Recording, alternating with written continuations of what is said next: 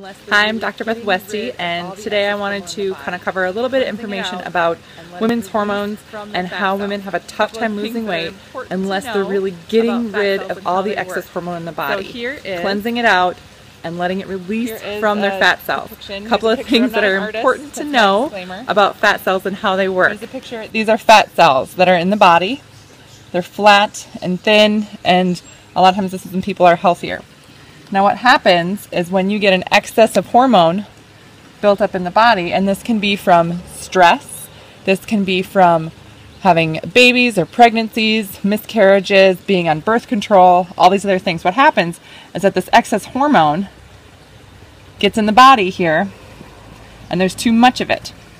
How your body protects itself is the fat cells absorb it, and they go in the fat cells. So then they, all of a sudden your fat cells look like this tons and tons of excess hormone in those fat cells.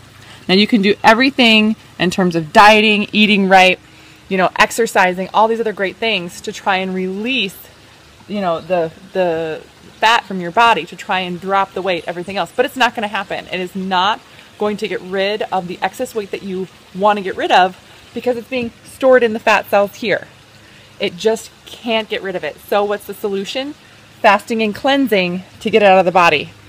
Once you fast and cleanse, these cells start to shrink here as they release all that stuff from the body. As that excess hormone is released from those cells, then they shrink and go down, and then this excess hormone stuff gets flushed out of the body. That's accomplished through using a cellular cleanse.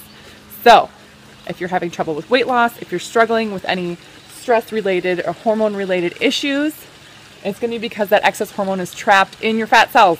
To get rid of it, cellular cleanse.